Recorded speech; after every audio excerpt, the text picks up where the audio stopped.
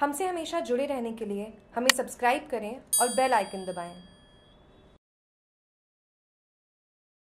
गणेश जागरण में देर रात तक जमे रहे श्रद्धालु गणेश समिति तसीमों द्वारा रविवार को गणपति जागरण का आयोजन किया गया, जिसमें मशहूर कलाकार भोला गुर्जर, खुशी शर्मा, जूली अग्रवाल द्वारा प्रस्तुतियाँ दी गईं। कार्यक्रम में मुख्य अतिथि उपखंड अधिकार विनोद मीणा रहे वहीं वशिष्ठ अतिथि सेपऊ थाना अधिकारी टीनू सोगरवाल रही। गणेश समिति तसीमो अध्यक्ष कलुआ सिंह सिसोडिया और पदाधिकारी द्वारा अतिथियों का साफा और माला पहनाकर स्वागत किया गया।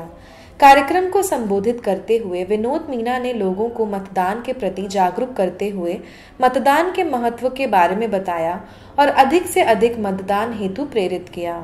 कार्यक्रम की शुरुआत गणपति आरती और सरस्वती वंदना के साथ की गई, जिसके बाद गायक जूली अग्रवाल और खुशी शर्मा द्वारा प्रस्तुत भक्ति गीतों से श्रद्धालु झूम उठे।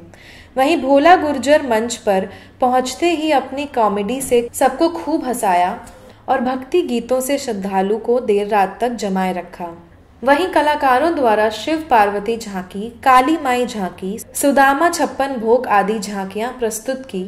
कार्यक्रम के दौरान आयोजक समिति कलवा सिंह सिसोदिया, भोलू परमार, विष्णु परमार, वीरेंद्र परमार, बंटी शर्मा, धर्मेंद्र परमार, बंटी परमार, कंपोटर संजय परमार, राजेश शर्मा, सुनील परमार सोमेश शर्मा, रिंकू शर्मा, मनीष शर्मा, सोनू शर्मा, देवेंद्र सुनार, राजेंद्र शर्मा आदि समिति सदस्यों सहित क्षेत्र के हज़ार से अधिक लोग मौजूद रहे।